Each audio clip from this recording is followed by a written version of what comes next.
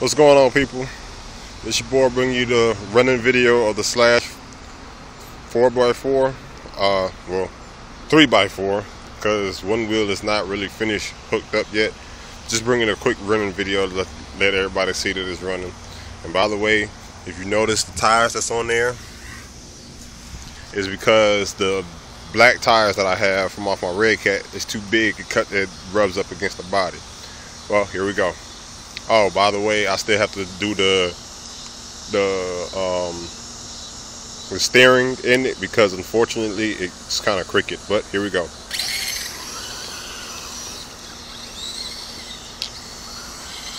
Oh Lord, hold on.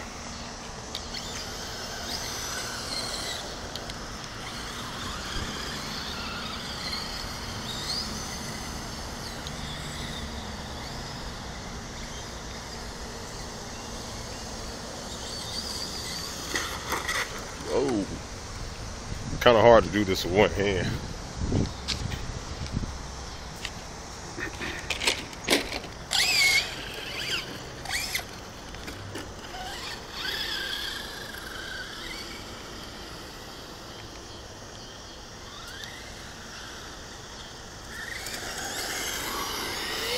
Woo!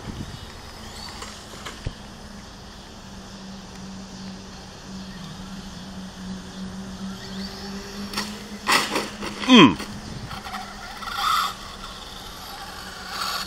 Uh-oh. Well, had a messed up something, so back to the drawing board. All right, peace.